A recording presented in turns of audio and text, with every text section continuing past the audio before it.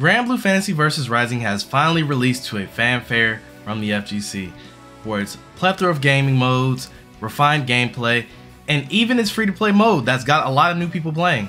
However, with the nature of the internet, you can't have the good without the bad. And if you've looked at the Steam page very recently, you can see the reviews are kinda a little mixed. Currently this game is tilting between mixed and mostly positive reviews, and I kind of want to address some of those today. And what I'm going to do today in this video is we're going to dig through the reasonable complaints and talk about it a little bit more, as well as some of the people that are just yapping on there, you know? People that didn't do their research. So, in this first one, it says, the game is hard to learn, not fun learning though. Only recommend for fighting game enthusiasts, not a good one for first timers. So, you guys pretty much know how I stand on this one. Uh, this game is a great game for first timers. This game does a lot for people who don't play fighting games regularly. This game has a very expansive training mode that teaches you not only the ins and outs of your character, but how to approach other characters. You also have other modes that don't require you to fight people directly. Um, we actually just played recently the RPG mode, and the RPG mode gives you a decent breakdown of how to play the game, even against non-real opponents. And that's really, really cool. And even if you aren't good at fighting games, like I say, you have Grand Bruise mode. Grand Bruise is a literal battle royale mode that is for you to have fun while you're learning. So like once you start getting to that burnout point, you can take a break, get some Grand Bruise in, you know? Have, have a great time by yourself or with friends.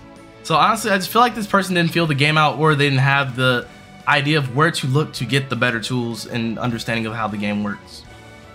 This game is absolutely abhorrent. Once again, ArcSys proves they have no clue how to make a puppet character balanced. Nier is an abomination that cannot be comprehended by 80% of the cast, and the other 20% are either zoners or are barely able to manage against the character. ArcSys, stop making puppet characters when you have zero clue how to balance them. You either make them broken or absolutely weak. Just stop. 2 out of 10, game dead when Tekken 8 drops. so I don't really agree with this one at all. It's a little bit crazy. I mean, Nier is very strong. Like, take a look at this clip from the stream.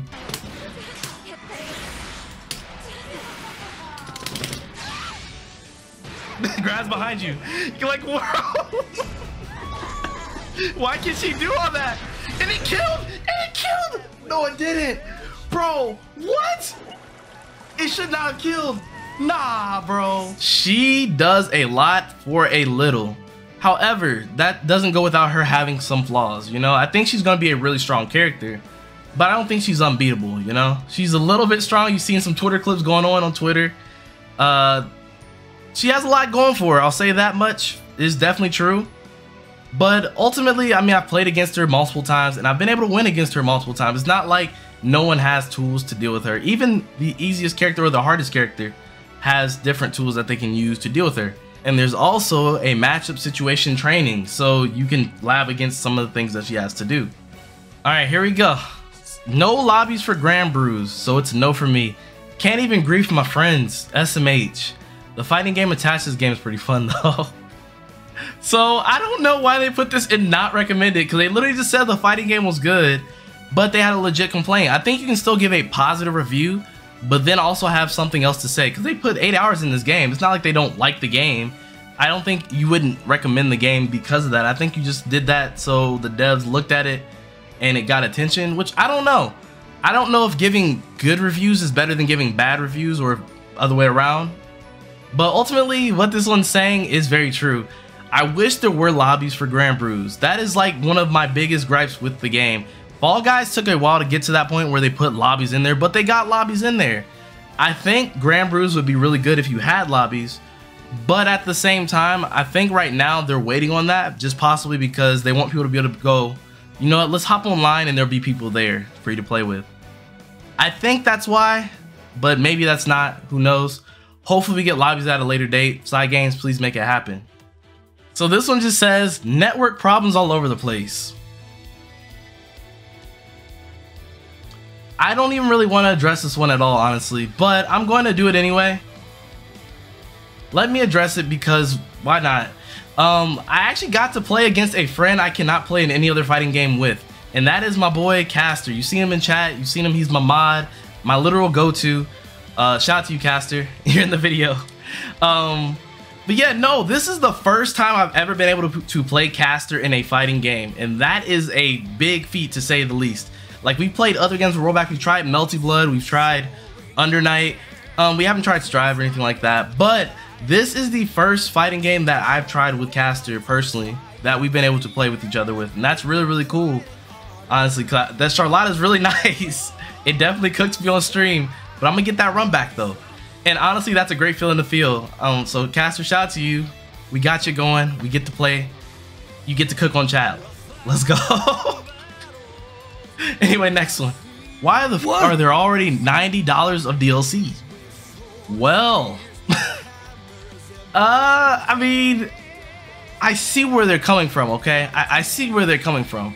Cause I bought the the early, you know, the deluxe early edition, and that was like 75 off rip. They also have like these voice packs right here, and um, you have the horse girl avatars, right? And those are all legitimate DLC. The reason why I'm not counting some of the other things is because of there just being early unlocks.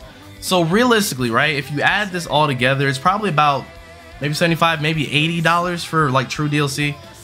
One of the biggest misgivings of this game and one of the biggest like problems that people are, you know, going through is they're saying, oh, okay, I want to buy the season pass. It shows the season pass as $50. I'm sure everyone on Twitter has seen it, and everyone on Twitter has also been talking about this thing. I'm here to tell you that that is not how that actually is. So the $50 that you're putting towards is getting you all the stuff that the early deluxe edition has, which I don't think people should be buying the $50 version because I mean it's basically early unlocks. And if you would have bought the deluxe edition for like literally $25 more than the base price, you'd spend half as much money and get that exact same stuff. So personally, I don't see that being a legitimate gripe because also when you want to buy the characters later, there's going to be a legit character season pass that is only $35, which is like, what, $5.50 per character since there's six of them? I honestly don't think Cygames did a great job of actually talking about this. So that's why I'm talking about it in this video because a lot of these things are things that I feel like they should have probably addressed a little bit better. They've been doing a great job of marketing the game overall, but there are like some little things that they've kind of forgot along the way. So I'm here for you guys. Subscribe. Speaking of being here for you guys, I'm gonna read this one for you guys. I love this game. It's a great game and really fun but the pricing is a big issue. Why is it so expensive in smaller countries? I think they meant countries. They said companies. I read that as companies and then I like countries, autocorrect, brain work. Uh, in Indonesia, the price is ridiculous, more than Tekken. ArcSys seems to be increasing the price of their games recently. Uni 2 is the same price and Strive got a price increase. Why the Tommy? If this gets fixed, it'll be perfect. As you see, they played a good amount of time. I don't know if they bought the free-to-play version or if they're on the paid version where they paid the full price for that. I'm sorry that you did, if so. And with this one, I'm going to say, ArcSys, y'all gotta change this because I think that same exact thing recently happened with Melty Blood, and I mean, it caused a bigger uproar because they changed the pricing to match where everyone else's pricing was, which makes the game overall a much more expensive game. I'm sure you guys lose money in the end if you guys cut down these prices, but if you want your game to last longer and you can make up these sales over time with DLC and things like that, you guys gotta cut down on this. This is not cool. This, to me, is probably the only legitimate reason I would say downvote the game. That's probably it. This is the, like, one of the de facto reasons where I'm like, I understand what you guys are doing. And I mean, I support you guys 100%. So, I mean, I want you guys to be able to enjoy the game that we are all enjoying. Um, until then, I mean, definitely play the free-to-play version. I would say supporting the game without paying is still support, even if you downvoted it. You know what I mean? If I still see 5,000 people playing it every day, right? Then as a developer, I'm like, there is a need for this, right? There's a lot of people playing this free-to-play version. Where are these people playing the free-to-play version from? So if I look and I see it's from a country where we have the price too high, and it shows on Steam, by the way, that the price is too high. It shows like almost like 200% in some places, and some places are actually at 200% pricing. So, uh, yeah. Y'all might want to fix that before, you know, those people go away or, you know, other things happen for those people. Like I said, my other countries that are getting messed up by this pricing, I support you guys 100%. I mean, it sucks that you guys are not, you know, wanting to invest in the game because the price is too high. But I definitely want this fixed you guys, so hopefully it happens. Anyway, that has been all of the comments that I wanted to go through today. I mean, there's quite a few more than those few. Uh, there's one like about keyboard support, one about RPG stuff, which you guys can talk about down in the comments below, and I'll definitely address those with you guys down there.